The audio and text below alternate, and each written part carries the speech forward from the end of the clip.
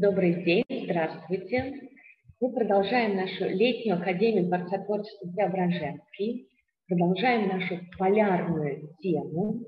Мы говорим о полюсах, о Южном полюсе, о Северном полюсе. Уже говорили и об Арктике, о растительности Арктики, в исследователях Арктики. И когда мы говорим о полюсах, о Южном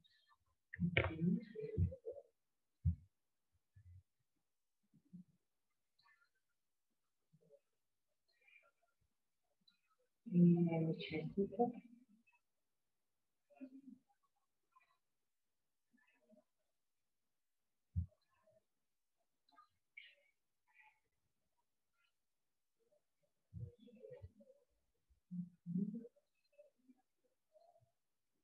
Попытался войти в конференцию.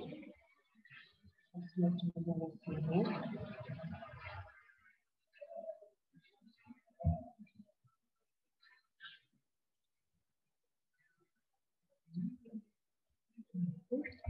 Тогда продолжим. Итак, говоря о полярном круге, мы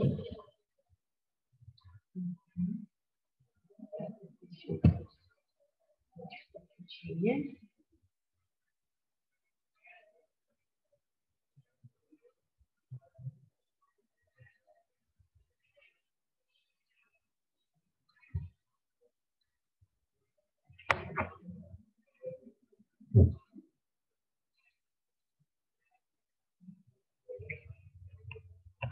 Итак, продолжая нашу полярную тему, нельзя не затронуть такое понятие, как вечная мерзлота. Что же такое вечная мерзлота? Я думаю, что каждый из вас слышал это понятие. Вечная мерзлота – это верхняя часть земной коры, температура которой от двух и до тысячелетий не поднимается выше нуля градусов. И если мы с вами сейчас посмотрим на экран,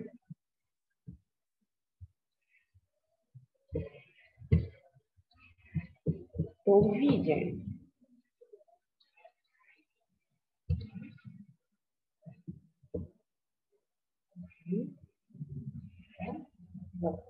на карте земного шара, земной поверхности, увидим распространение такого понятия, как вечная мерзлота на континент. Цветом показаны различные, различные части. Например, есть вечные льды и снега, которые как раз встречаются на северном и южном полюсе. Также мы можем видеть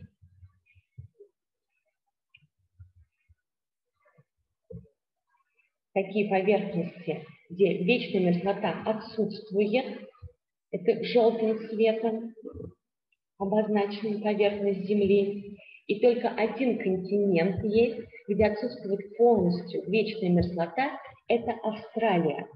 На всех остальных континентах, кроме поверхности, где вечная мерзлота отсутствует, присутствует сплошная вечная мерзлота и островная вечная мерзлота. То есть это те земли, где действительно температура не поднимается выше нуля градусов.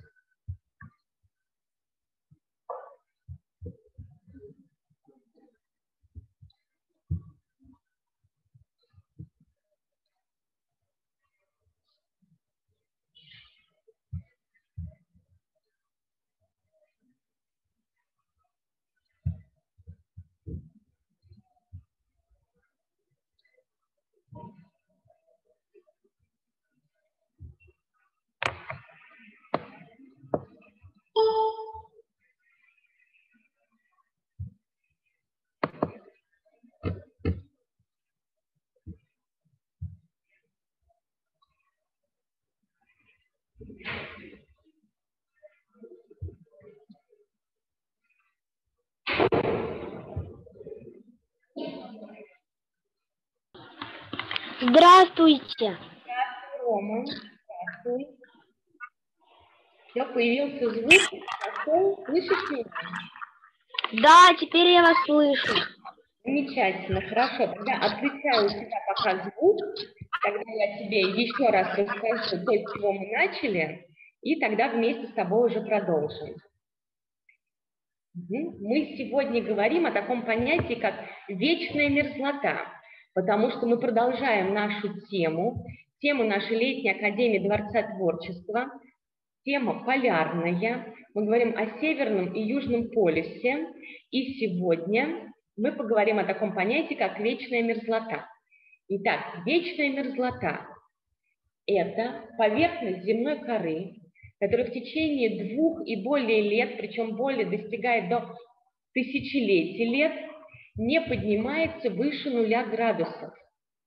И расстояние, то есть ширина этого, этой части земной коры от 50 сантиметров и дальше, то есть бывает и 500 метров, а в горах такая вечная мерзлота земной поверхности достигает полутора тысяч метров. И вот давай с тобой посмотрим на экран. И здесь мы увидим нашу планету.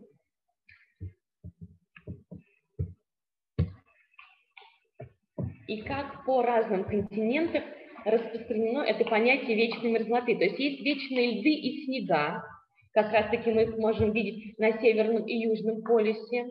Есть зоны, где вечная мерзлота отсутствует полностью, есть где сплошная вечная мерзлота и островная. И единственный континент, где нет такого, как вечная мерзлота, то есть где почва теплее, чем 0 градусов, это только Австралия. Там действительно нет ни островной вечной мерзлоты, ни сплошной вечной мерзлоты. На всех остальных континентах, видишь, под цвету присутствуют различные температуры земной поверхности. Что такое, давай с тобой посмотрим, да, вот вечные льды. Это вот, вот так вот выглядит, можно по фотографии видеть, где льды, мерзлота, вот такой постоянно льды не тают. Но если мы говорим о вечной мерзлоте как понятии, где температура не поднимается выше нуля градусов, то, в общем-то, ученые считают, что образовалась такая вечная мерзлота 1-2 миллиона лет назад. Произошло это в тех районах, где климат был сухим, морозным, а толщина наземного ледникового покрова совсем незначительной. То есть практически на всех материках, на всех континентах, как мы с тобой видели. И действительно, единственное место, где отсутствует, то это Австралия. В России, в России, в России, да, посмотреть, да, в России а, зона вечной мерзлоты занимает 60-65% территории. Но растения, даже вот на тех континентах, где присутствует сплошная вечная мерзлота, а, растения все равно есть, растут. А, флора и фауна тоже разнообразна, просто она особенная. И растения приспосабливаются к таким суровым условиям, потому что лето все равно существует, оно незначительное, оно как не на той территории, где проживаем мы, но все-таки почва тает, верхний слой почвы оттаивает, и корни влагу поглощают. Только длится это лето недолго, и в основном те растения, о которых мы говорим, это лишайники, мхи низкорослые растения. Самыми ценными являются лишайники, потому что именно они служат пищей для разных животных, проживающих в этой зоне вечной мерзлоты разнообразие и лишайников, и мхов существует на поверхности Земли. Бывают также у нас, мы уже говорили о растительности Арктики, и там представлены разнообразная растительность Африки. Есть даже цветы, например, полярный лютик, а, есть ива, только она низкорослая, стелящаяся. Ну а вот в зоне вечной мерзлоты выживают еще такие деревья хвойные, то есть хвойники мы можем видеть. Да, это ели, сосны, можем видеть как раз в зоне, где а, земля оттаивает на ненадолгий период, где корни деревьев успевают за это время поглотить влагу, и хвойные выживают, потому что а, при первых заморозках сбрасывают иголки, а у ели свои тонкие и острые иглы не сбрасывают, поскольку они покрыты тонким слоем воска, который защищает как раз деревья от сильных морозов и ветров. И сегодня, вдохновившись таким знанием про вечную мерзлоту, про то, что она действительно присутствует на очень большой территории, даже нашей страны 60-65%, мы попробуем своими руками, раз про хвойники я заговорила не зря, попробуем сделать хвойные деревья, но не из необычного материала, не нарисовать, не сделать это из природного материала, а попробуем сделать аппликацию – аппликацию из ватных дисков. Почему пришла в голову такая мысль аппликации из ватных дисков? Потому что ватные диски, они белые, из них можно сделать все, что угодно. И мы, я научусь сегодня тебя, других ребят, которые, может быть, просмотрят эту запись, как можно из вас, ватных дисков сделать разным способом, как раз таки, хвойные растения.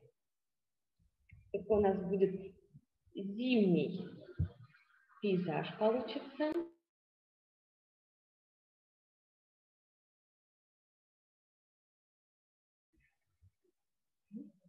Получится зимний пейзаж.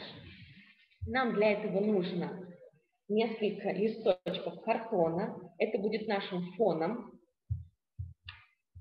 Фон, несколько листочков картона. И сами ватные диски по количеству я тоже сейчас ориентирую. Клей, можно ПВА, можно клей для склеивания, например, у меня пазл, он тоже подходит. И ножницы. И ножницы.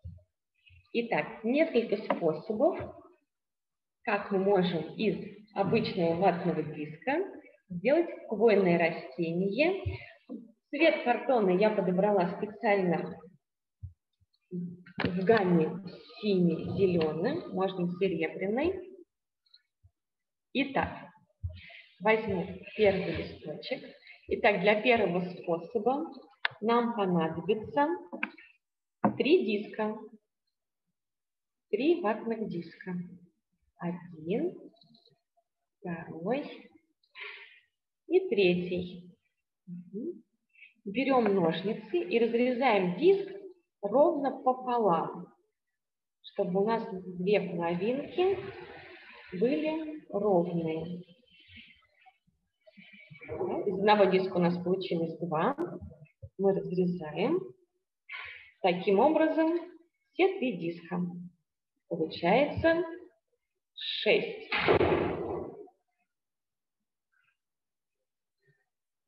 Шесть половинок. Те хвойные растения, которые мы будем сегодня делать, хвойные деревья, они у нас будут по принципу пирамидки строиться. Снизу наверх. Итак, берем два диска, складываем один на другой. Получается такой у нас треугольник. Только чуть-чуть они у нас перекрывают один диск другой. И вот так вот это основание нашего первого дерева будет. Берем клей. Да? Сначала посмотрим по центру, чтобы листочку, чтобы было красиво выглядело. Сначала примеряем. Потом на это место наносим клей. И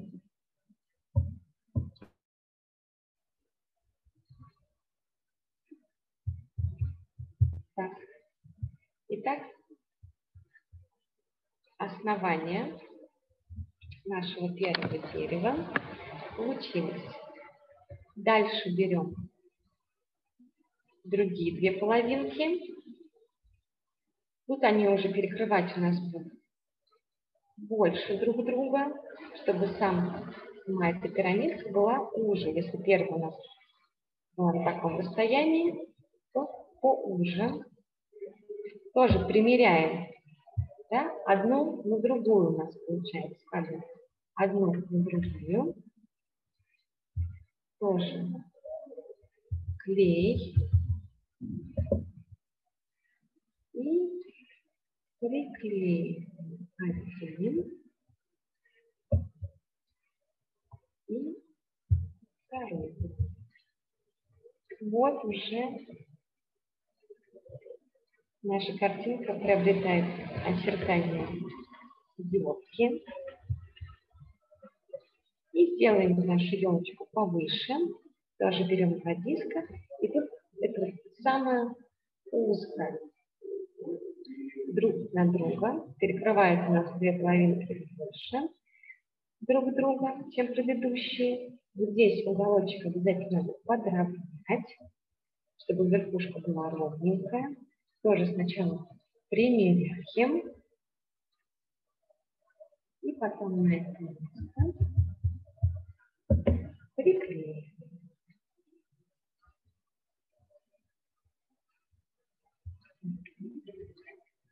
Итак, давай посмотрим. Это самый простой способ. Ну, посмотрите, как симпатично получилось. Можно одинаково, можно в разные стороны складывать сверху вниз.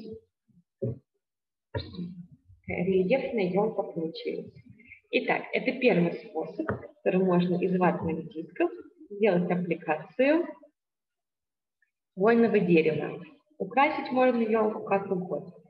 Итак, теперь второй способ. Нам понадобится два с половиной диска. То есть мы берем три диска.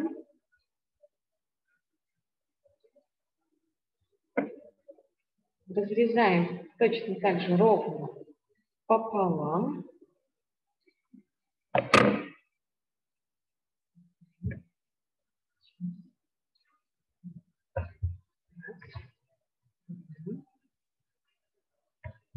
Четыре половинки. И еще от одного диска мы же берем половинку. Так, пять половинок у нас получилось. И теперь каждую половинку делим еще пополам. То есть мы будем сейчас делать аппликацию из четвертинок каждого ватного диска. Стараемся находить серединку и отрезать ровно.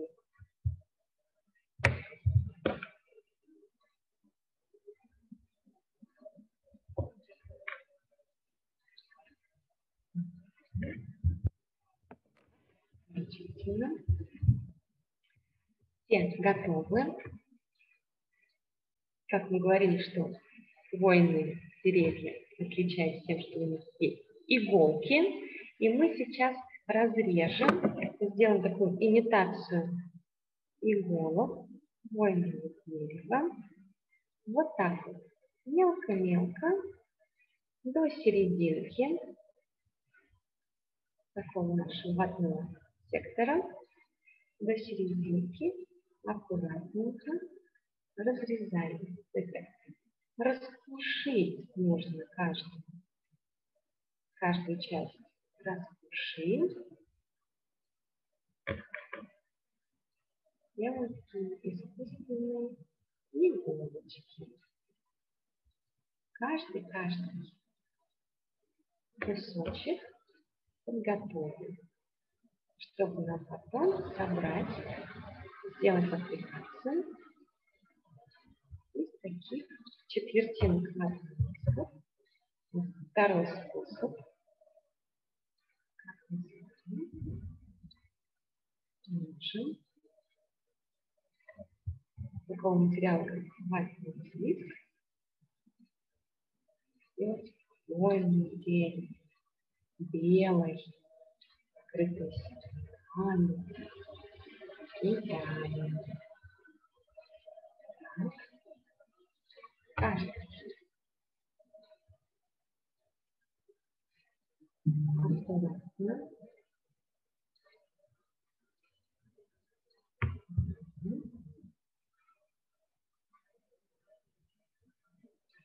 Готовим следующий листочек.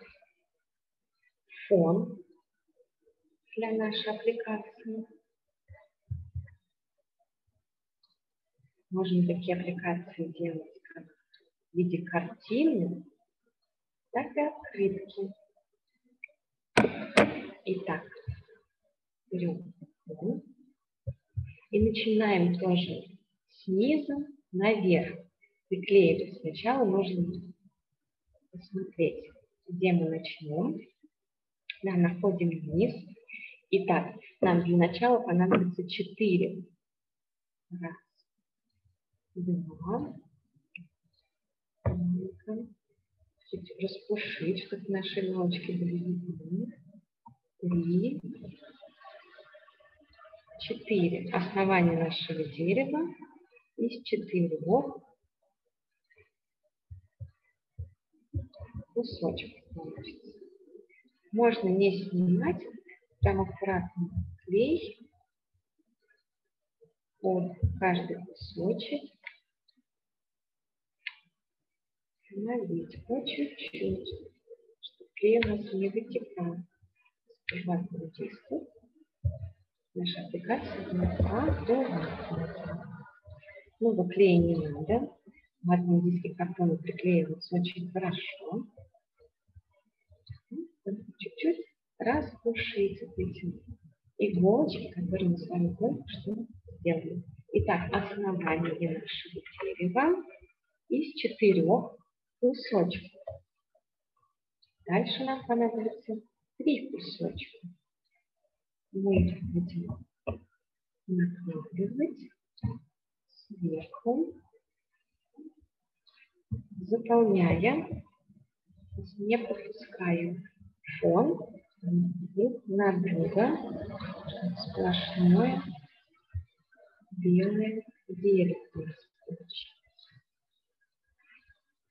на нижние листочки, на нижние, кус, на нижние кусочки, идем верхние. Вот у нас с вами получился второй ряд. Для третьего ряда нам понадобится два кусочка. Также промежуточки треугольные, которые у нас получились, кладем тоже друг на друга, перекрываем предыдущий ярус.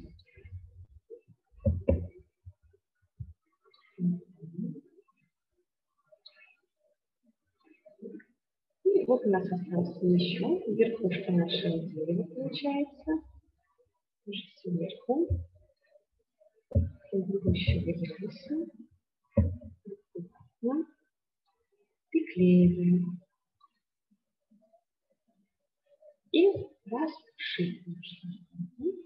Если да, вот такая елка пушистая получилась, красивая, четкая. Итак, у нас же два вида деревьев, которые мы можем сделать. И теперь еще один способ. У нас осталась половинка ватного диска. Возьмем еще два ватных диска, получится два с половиной. Делим здесь пополам. Одна половинка у нас есть. Еще две половинки. И еще две половинки у нас получилось. Смотрите, нам понадобится не четвертинки, а опять половинки. Давайте сложим пополам. А если мы сложили пополам, мы уже видим, где серединка этого диска.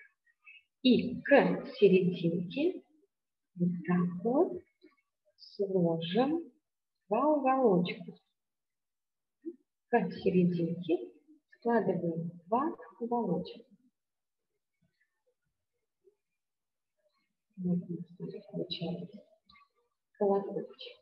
Складываем и приклеиваем серединку диска немножко клея и приклеиваем. Так, получился один.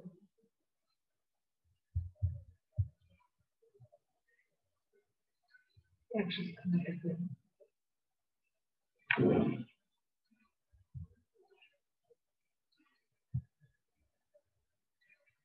Еще следующее. Приклеиваем.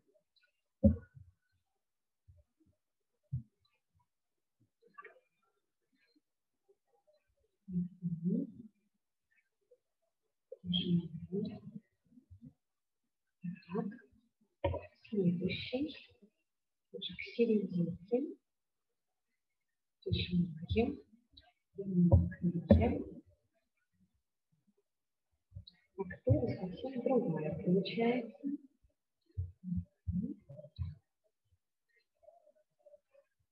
Кажется, кажется, становится подготовить.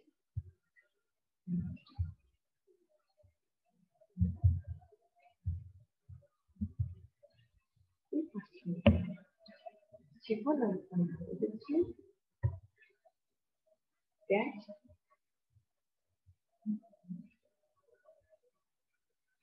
Ладно, заготовочки получились.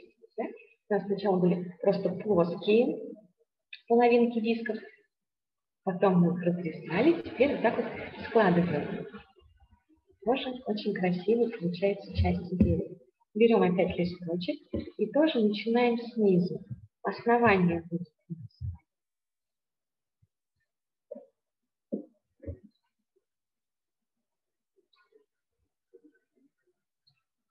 трех.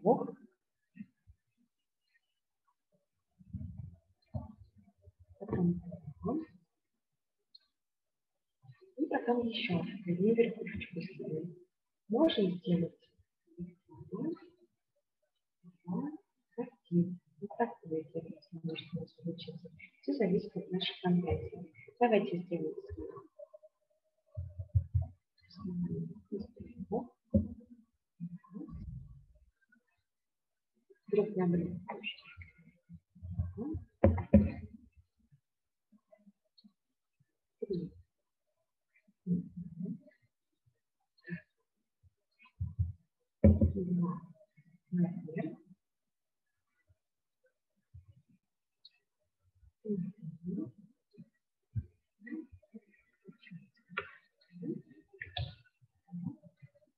Можем сделать повыше наше дерево. Чуть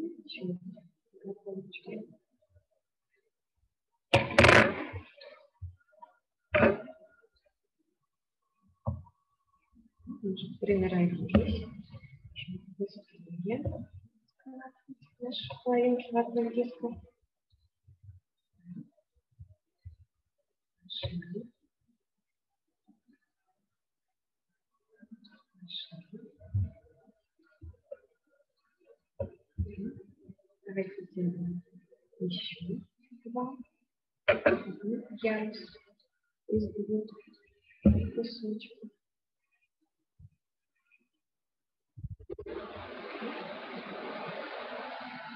У нас будет повыше. Повыше получилось.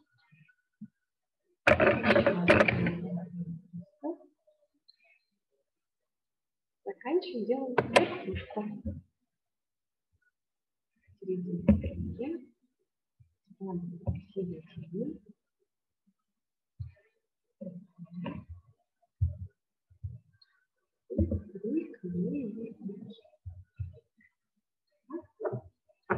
Вот еще один вид дерева у нас вот такой получился. Ну что же, смотрите, да, о чем мы говорим.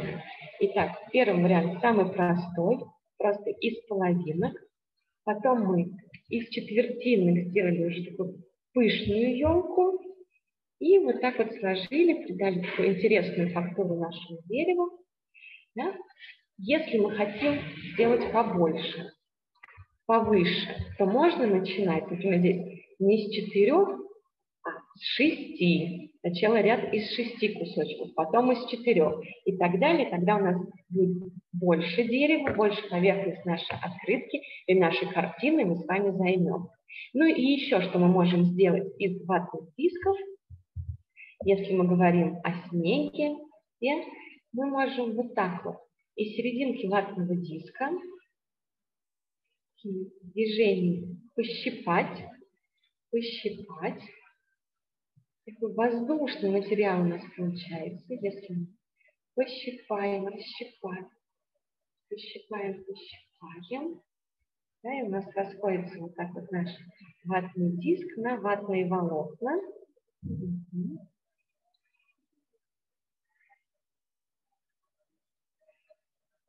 И тоже с помощью вот такого воздушного уже материала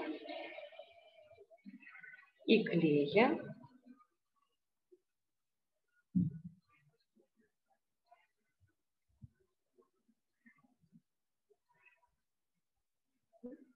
можем, например, сделать основание, имитируя снежный покров.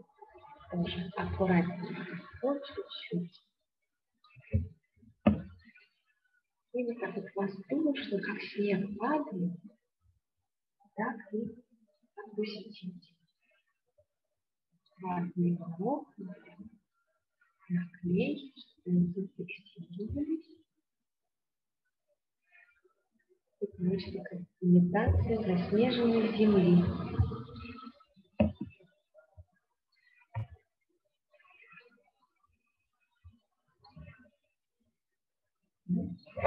Вот такая картинка у нас с вами получится. Ну что же, мы сегодня с вами продолжили нашу полярную тему поговорили о таком понятии, как вечная мерзлота, и попробовали сделать несколько видов хвойных деревьев из такого интересного материала – ватные диски, которые используются в жизни совсем других целей. Но если у нас есть фантазия, если у нас есть терпение, и мы можем сотворить все, что угодно. И, конечно, так вот, умея несколько способов, можно составить целый хвойный лес, украсить его, например, красками, а если мы можем готовиться к новогоднему, например, празднику, то эти деревья могут быть украшены и гирляндами, блестками, фонариками. Вот такая замечательный зимний пейзаж, который мы можем оставить себе или подарить нашим друзьям и знакомым. Что на сегодня я вам говорю до свидания.